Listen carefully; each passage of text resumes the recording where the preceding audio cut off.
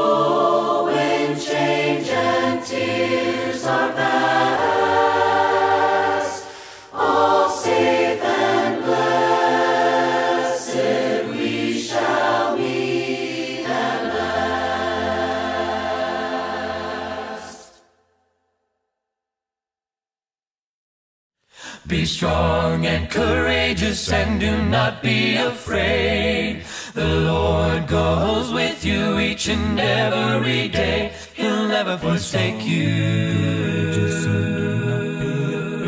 Don't be afraid. He'll never forsake you.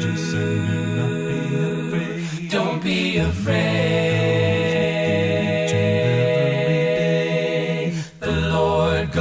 Before you through the trouble and strife. And he will protect you all the days of your life. He'll never forsake you. Don't be afraid. He'll never forsake you. Don't be afraid.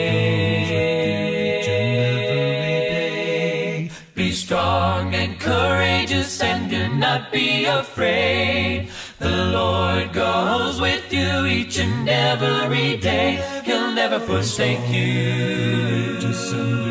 Oh, don't be afraid. He will never forsake you.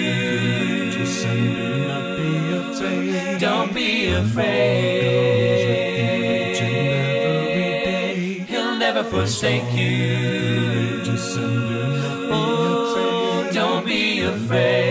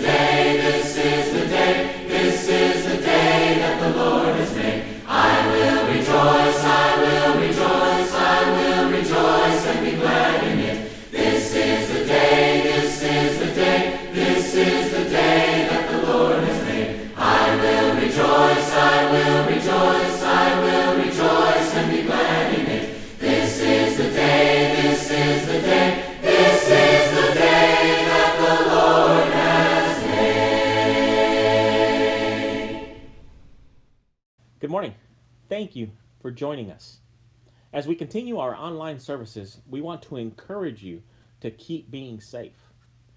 Soon, we will be able to see each other. Thank you for your understanding.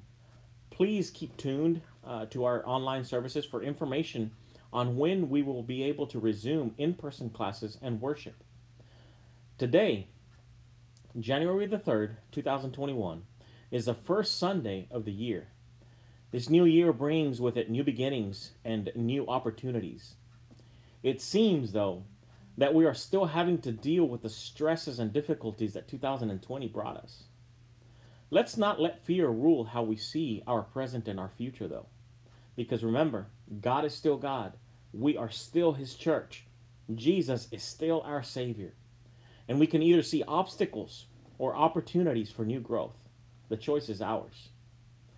So read a scripture with me uh, this morning as we start our online worship service. Psalm 96 says, Oh, sing to the Lord a new song. Sing to the Lord all the earth. Sing to the Lord, bless his name. Proclaim the good news of his salvation from day to day. Declare his glory among the nations, his wonders among all peoples. For the Lord is great and greatly to be praised. He is to be feared above all gods, for all the gods of the peoples are idols, but the Lord made the heavens. Honor and majesty are before him. Strength and beauty are in his sanctuary. Give to the Lord, O families of the peoples. Give to the Lord glory and strength. Give to the Lord the glory due his name. Bring an offering and come into his courts. Oh, worship the Lord in the beauty of his holiness. Tremble before, before him, all the earth. Say among the nations, The Lord reigns. The world also is firmly established, it shall not be moved. He shall judge the peoples righteously. Let the heavens rejoice, and let the earth be glad. Let the sea roar and all its fullness. Let the field be joyful and all that is in it. Let all the trees of the woods rejoice before the Lord, for he is coming. For he is coming to judge the earth. He shall judge the world with righteousness and the peoples with his truth. Will you pray with me this morning, please? Father, we come before you rejoicing at the fact that you are still God and that you are still our God and that we are still your children. Thank you for allowing us to be part of your kingdom, even in the midst of everything that is going on in our world today. Thank you for the strength that we get not only from you, but from your word and from each other. Father, and at this, at this time that we are not able to physically connect with one another as much as we want to, we pray for everyone that is watching this morning, Father, that if there is something going on in their lives, Father, that they that is is difficult, that is making their heart heavy, uh, just be with them, comfort them, strengthen them, and open the doors, Father, so that we can once again come together as your kingdom. Father, remind us that is not the physical buildings that make us your church. No, it is in our spirit and the connection that we have with you and with each other, Father, that make us your children. We thank you for the opportunity to love you, the opportunity to love one another. It's in Jesus' name we pray. Amen. The splendor of king,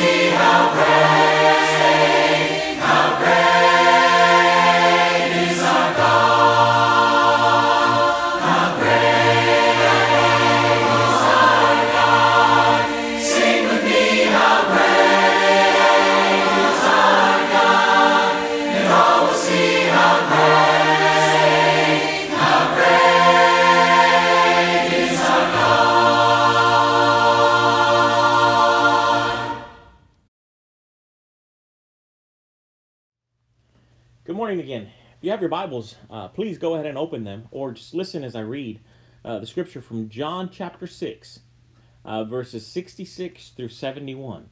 Uh, again, if you have your Bibles, please open them and read with me. Uh, if you want to just listen, you can do that as well. We want to thank you for listening and thank you for tuning in. God bless you. Uh, the Word of God this morning says in John chapter 6, verses 66 through 71. Uh, scripture says, Therefore, many of his disciples turned back and did not walk with him anymore. Jesus asked the twelve, Do you also wish to go away? Simon Peter answered, Lord, to whom shall we go? You have the words of eternal life, and we have believed and have known that you are God's Holy One. Jesus replied, Have I not chosen you twelve, and one of you is a devil? Now he was speaking about Judas, the son of Simon Iscariot, for he was the one of the he was one of the twelve who was about to betray him. Now, this particular section of scripture comes right after an amazing episode in Jesus' life. You know, when Jesus is walking around and he is preaching and teaching and he is, uh, you know, ministering to people, one of the things that he does is that he looks out into the crowds and he sees what they need. And amazingly, he has the power to supply their need. And one of those particular occasions is earlier in John chapter 6 when everybody has been out all day listening to him and he's been preaching and teaching and it's about time uh, to to get something to eat. And so jesus takes this little bit of, of food these few pieces of bread a couple pieces of fish and he multiplies it. And he feeds over 5000 people. Amazing this this amazing miracle right that jesus uh, does right in front of his disciples in front of all all of these people and then right after that episode he gets in a boat and he goes to the other side uh, of a lake, and everybody follows him. But then something curious happens. A lot of the people with him, according to verse 66, they start turning back and they don't walk with him anymore. And it's interesting that that happened. Have you ever met somebody that when you ask them for help, uh, you ask them for a favor, they say, What's in it for me? Now, most of the time when somebody asks that question, they might be playing around or they might be joking around, but 50% of what they're saying is kind of true. Because this is what people ask sometimes when they are asked to help. And that simple question, I think, speaks volumes of our human nature. What's in it for me? Because no matter what we do, we want to benefit for ourselves. That's, that's who we are. That's, that's how we look at life. And that's nothing new. Crowds upon crowds. And when I'm, I'm talking about crowds, I don't mean a couple of hundred, I mean thousands of people would follow Jesus around as long as there was something in it for them.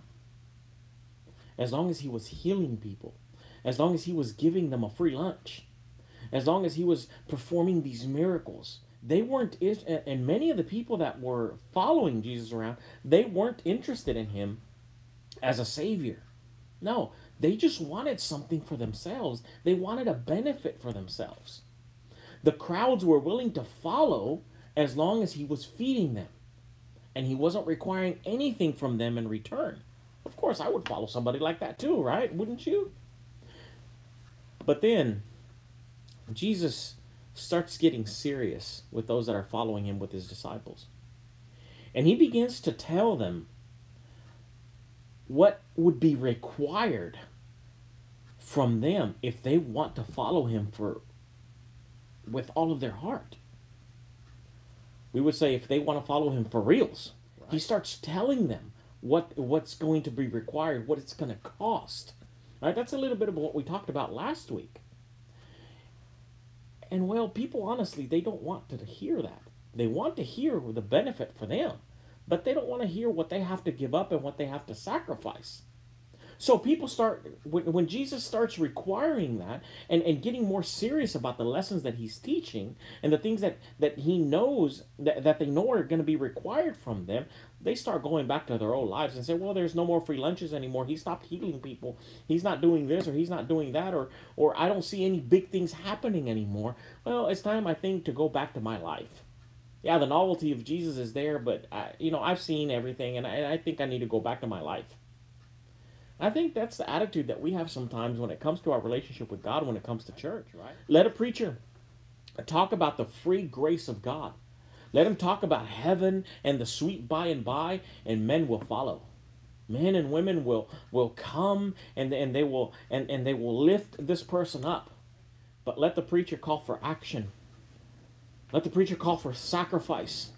Let him talk about what it takes to really follow Jesus of what it what it's going to take for you to give up. It's easy for some to say amen and hallelujah when we see what Christ gives us. But it's not so easy when we realize what Christ requires. Because he requires our time, our energy, our resources. And when that when when the message takes that turn, right? We see in our scripture in, this particular section, the crowd begins to leave Jesus. Because there are no more free meals. The crowd then begins to dissipate. Jesus then turns to his disciples. And that's the scripture that we read. And he te- he asks his disciples, "Are you guys going to leave too?" I mean, everybody else is, so I guess you guys are leaving too. But of course they didn't. And of course, who answers? Of course, it's Peter. It's good old impulsive Peter. He says, Where would we go, Lord? You have the words of life. You are the Christ. Why would we go anywhere? Man, you know, when every time that I read that answer, every time that I read the scripture, I I can't help but think, man, what a beautiful, wonderful, thought out, deep answer to the to a simple question. There are many different types of people in this world. You know, rich, poor, young, old, educated, not educated. But you know the one thing that we all have in common? The one thing in the end that we all need is Jesus' words of life. No matter who we are, no matter what we do, we all need them just the same. Through the words of Jesus, we receive forgiveness, we receive courage, we receive strength, we receive hope for our future. As we look at our past, I, I know that's true for me. As I look at my past, I can't help but realize that sin has been such a great part of my life. And you know the only one that can take care of that, that can forgive that, is God through Jesus Christ. It is through His words that we get to know what is going to happen with our lives and what to expect. Because let me tell you something church cannot forgive your sin, other Christians can't forgive your sin. Only God can through our Lord and Savior Jesus Christ. Because sin is like a great rock that is strapped around our necks and it doesn't let us move forward. It doesn't even let us look up. It doesn't let us get closer to God. But His words of life can rescue us from destruction and from death. Jesus' words give us strength, they give us courage. Right? They give us the ability to live our lives today, not worrying about the past, not worrying about the future, but today. It seems like our world today is is just living in fear. Why do we allow the world to let us do that? Why do we allow anything to to weigh us down like that? Jesus came to free us from all of that. And Jesus' words give us guidance for today. To live, be able to live our life for Him today. Jesus is it. Why do we keep looking everywhere for help? Why do we keep looking everywhere for the words that could change our lives? Jesus is it. It's, it's Him. Jesus knows our past. And you know what? He forgives us anyway. He knows our present. And so He knows where to guide us. He knows our future. And so He knows what kind of hope we need, what kind of what, what kind of strength we need. He knows where we need to be. And so he can help us get there. Jesus Christ, he is all that we need. He is our hope for the future.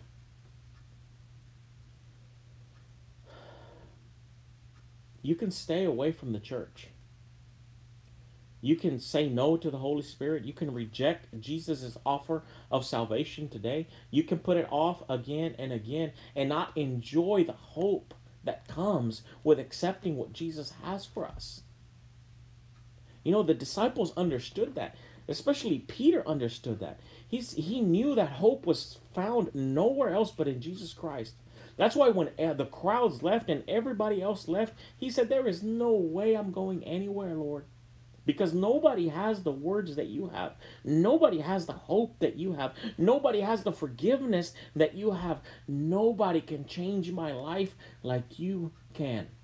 Nobody can give me the hope of living an eternal life in heaven like you can. Let me tell you something. You can put off accepting these words from Jesus off again and again. But you know what? There is something in our lives that's coming that we cannot put off. And, and that's death. Death has become a part of, it seems, you know what we have we we had to deal with last year eh, 2020 with the the virus and, and all of those things that we're having to deal with. And it's become a reality to a lot of us. Death comes for us all. Without regard of who you are where you are what you have or what you don't have. And when it shows up you can't say come back tomorrow. You can't say let me get a few things lined up first. You can't do that. When it shows up on your doorstep it's there but accepting Jesus as words of life, allowing Him to rule in our lives, means that you don't live with that fear anymore. Means that you don't care about death or the things that bring damage into our lives. Why? Because we have a hope that goes much farther, but it goes beyond this life. There is no more fear for the future. There's only hope and anticipation. Just like Peter said in our scripture reading, where else can we go? Where else should we go? You're the only one that has everything we need, Lord. Jesus is all that you need. Because when the doctors and nurses can't help you, Jesus can. When the church can't help you, Jesus can. When your family can't help you, Jesus can. Because Jesus is all that you need. Peter, when he when he answers the way that he does, Peter sees himself as not having any other option but to follow Jesus. Turning back and going on and going back to his old life is not even an option for him. Following Jesus is the only option if we want to have a hopeful, beautiful, wonderful future. Jesus is all that we need, no matter who you are. To the lost, Jesus is the way. To the dead, Jesus is life. To the liar, Jesus is the truth. To the soldier, Jesus is the fortress. To the servant, Jesus is the good master, the good shepherd. To the sick, he is the good physician. To the journalist, Jesus is the good news. To the thirsty, Jesus is the water of life.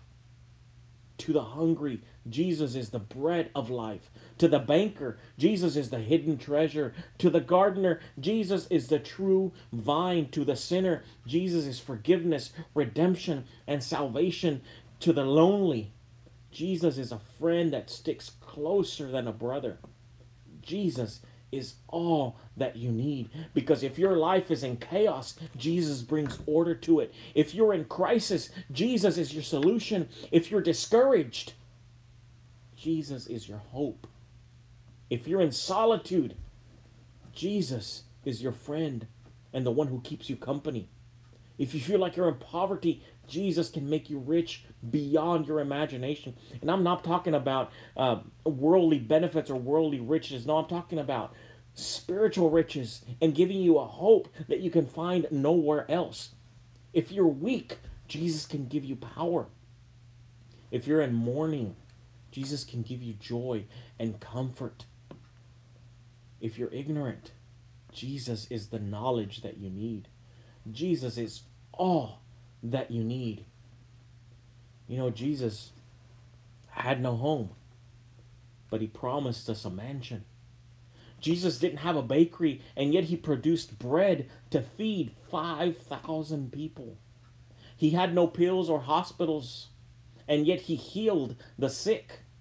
He attended no college, and yet he taught having an authority and words like no other. Jesus is all you need. He was born in a borrowed stable. He used as his pulpit a borrowed boat. He fed thousands with a borrowed lunch. He rode as king on a borrowed donkey. He observed the Last Supper in a borrowed room. He was mocked as king in a borrowed robe. He was crucified on a borrowed cross. He was buried in a borrowed tomb. And yet, he is now reigning forever in eternity, the Lord of everything. And the most amazing thing about that is that He is waiting for you and I in eternity.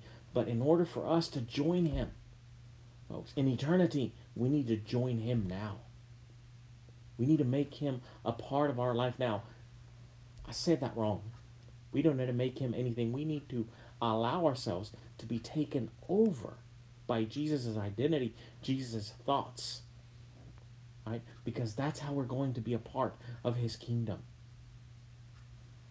If you believe this, if you believe that Jesus Christ is the answer that you have been seeking, if you believe that Jesus Christ is the only one that can save you, the only one that can forgive you, if he, you believe that he is the missing piece of your life, why continue living your life that way? Why not allow him to be your master, to be your friend, to be your company, to be your shelter, your fortress? You know how you can do that? By confessing your belief in him, by being baptized in water, by being immersed in water and starting to live a life for him. That's how you can make his words real for you. If you need help doing that, email me at minister at ntxcoc.com. Thank you, and God bless you today.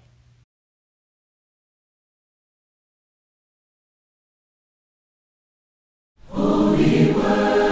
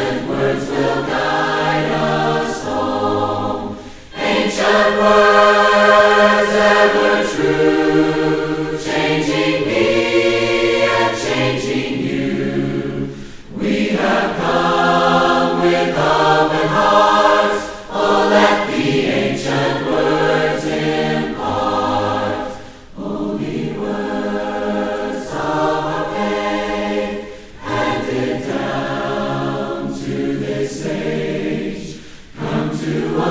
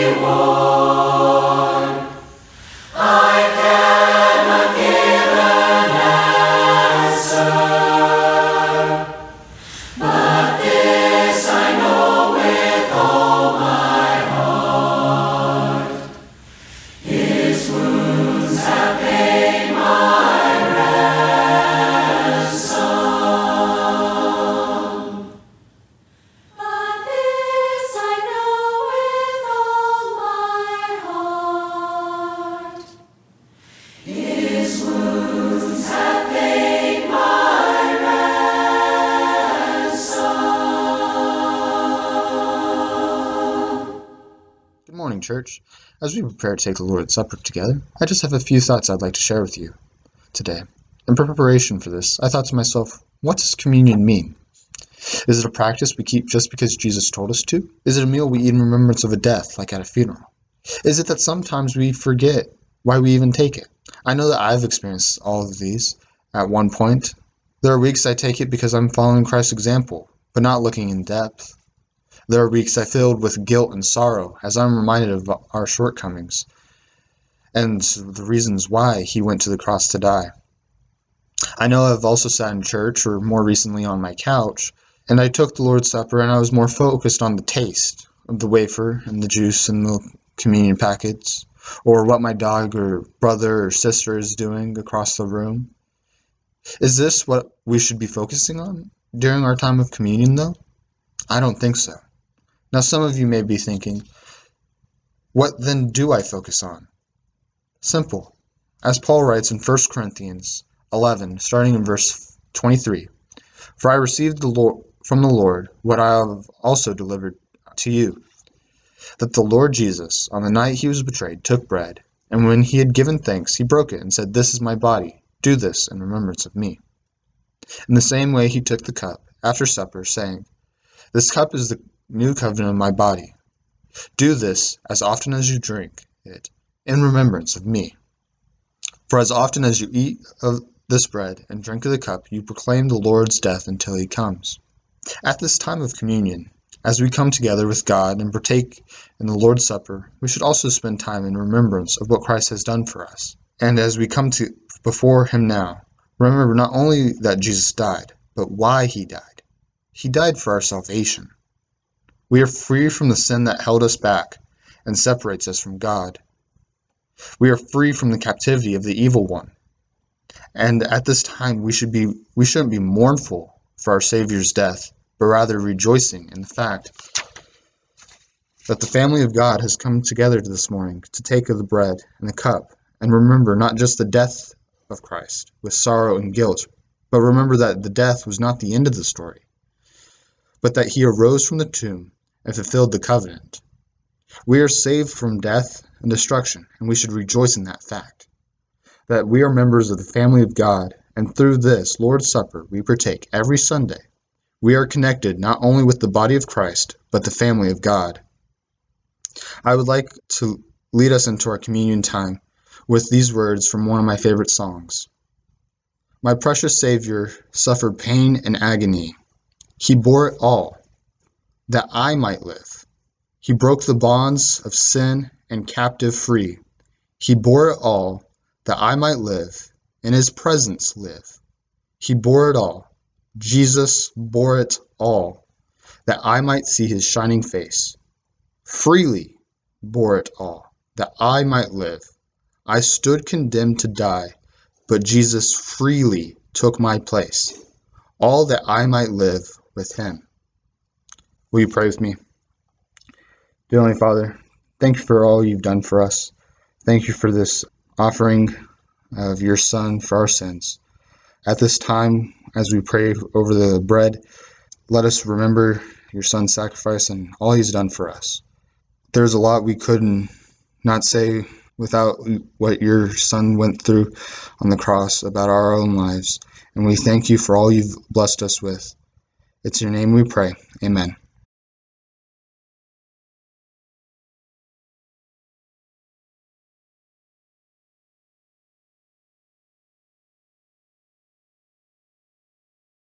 Will you pray with me? Dear Heavenly Father, thank you so much for this day. Thank you for this opportunity to come together, even though we're separate, as a congregation of Christians, to take this emblem that represents the blood your, your Son shared in the greatest gift ever given to humans. Father, thank you so much, for it's in Jesus' name we pray. Amen.